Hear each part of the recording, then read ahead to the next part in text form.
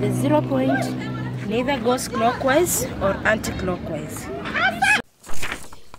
You all have heard about the equator line, and we are set today to go see this an imaginary line and to show it to you guys.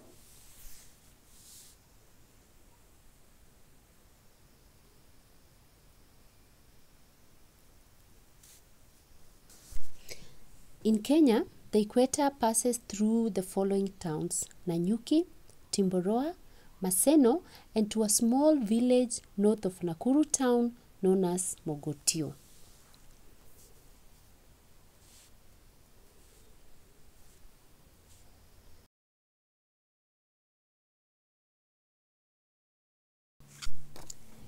Here we are at the equator and ready to start a lesson on Coriolis effect. Stay tuned. Help us understand more about the equator is an experiment of what happens when you are at the north of equator, south of equator and at the middle of the equator. Our instructor is ready with the equipments which you can almost mistake for a magician's apparatus, but this is what is needed for this equator experiment. With me I've got simple apparatus. It's the bowel with a hole at the center, a jug with water and a light stick. So as you understand, equator curves have into two, the north and the southern hemisphere. Now from this position, this is east, this is west. At the right hand is the northern part of the hemisphere, then at the left the southern part of the hemisphere. So as you have seen the initial there, N is north, south is S is south. So we have to move some few meters to the north. You see what will happen and I will explain more about it. You come with me to the north.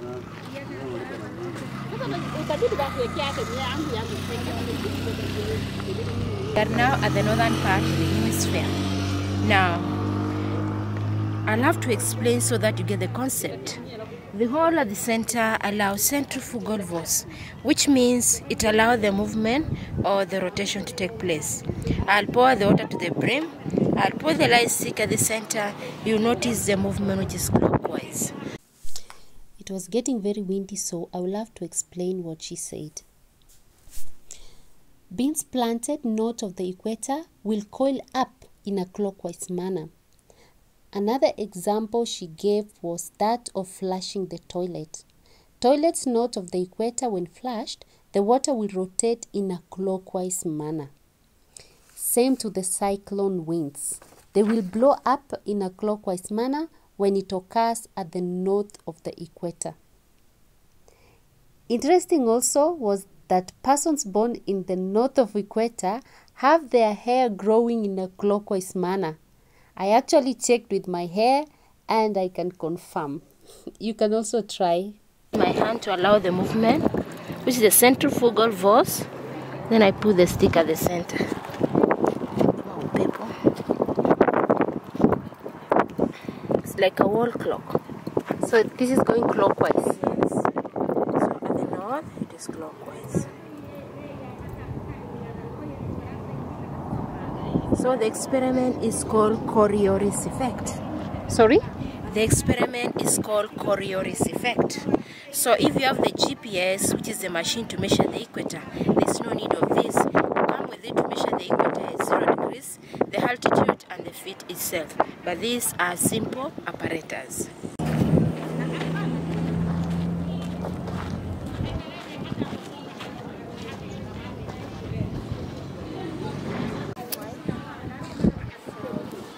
Did an experiment on the northern side of the equator.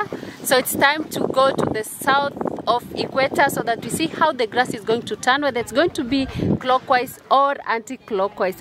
We are now at the southern part of the hemisphere. Now at the north was clockwise, at the south is counterclockwise. Now the examples which I had given at the northern part is vice versa or opposite to the southern part of the hemisphere. Hope you still remember the coiling plants, the flushing of the toilet or the sink, the cyclone wind, the devil's dust wind and the hair. It goes in a counterclockwise manner. So what is your observation made? At the north was clockwise, at the south anti-clockwise. Another observation is the water reduces, the rate of movement decreases. To expand on that is that as you go further from the equator, the wind becomes stronger. As you come closer to the equator, it becomes still, which is at the center, there's no movement. So, how does the winds affect the equator? So, when the sun is overhead at noon at the equator, which is on 21st of March to 21st of September, it's too hot along the equator. Also, the winds also affect because along the equator, there is warm winds from the north which comes towards the equator and we experience equatorial rains along the equator. So at the equator there is vegetation because of that warmness. So guys, this is the southern part of the equator and you see the grass is going like anti-clockwise, in an anti-clockwise manner.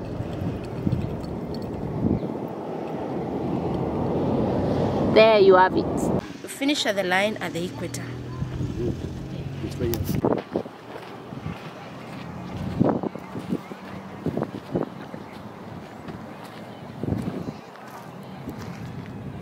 And now we go at the center of the equator, the zero degrees line.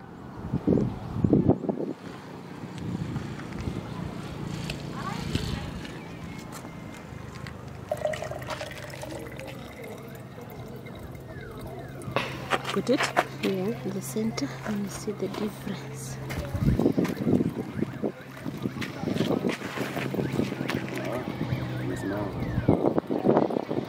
The wind but should stand still. At the line at the equator, there is no movement, which is at the zero point.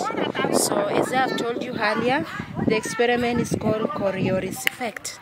So, when you are being asked why is it not moving at the line at the equator, it's due to Coriolis parameter at zero degrees.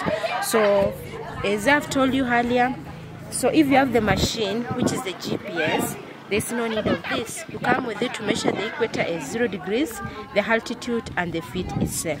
But these are simple apparatus. So that's the end of the experiment about the equator. Thank you. You are doing it so well. Your explanation is just so wow. Like somebody will want to listen to you over and over again. Thank you, because thank it's you. so. How do I say? It's it's so much in order, like from one point to the other, and you don't miss your points. Okay.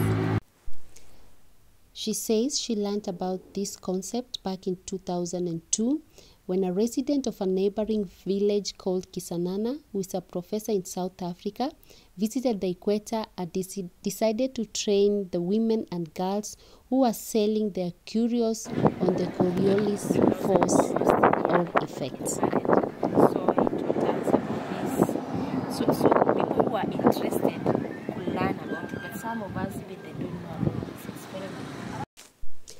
In physics, Coriolis effect is defined as an effect whereby a mass moving in a rotating system experiences a force, also known as the Coriolis force, acting perpendicular to the direction of motion and to the axis of rotation.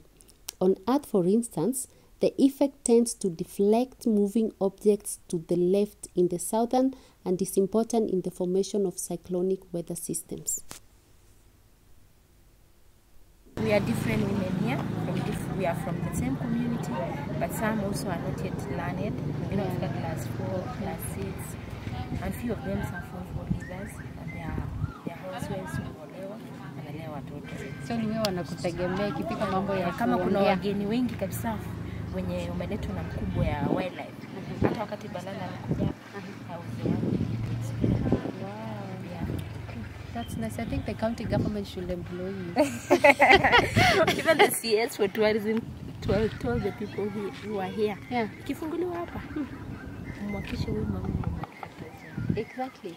That is what they should actually do. people are corrupt I know. No, Kenya kitu ndio upate kazi Yeah, but how I wish they could always be looking at knowledge, how knowledgeable one is, or how experienced one is, rather than bringing in someone who has no knowledge about tourism, who has no knowledge about the, the equator, and then is, he or she is employed there just because they have a good father. I think this is a disease that we need to fight in this country. That people should be given opportunities based on how well they know they know that uh, that area. Yes. I hope it will be that way in the, years to come. Yes, we hope so. We hope so because what you are doing is really nice. Thumbs up. I'm grateful. I have learned something. Thank you, thank you. Yeah. So I'm happy to be with you. Bring more clients. Then tell them that there is an experiment at the equator. Yeah, so listen, guys, if you are on your way from uh, Nakuru heading to Marigat or Bogoria or Lake Baringo, please make an effort of sto- stopping here at the equator and ask for Anne Keter.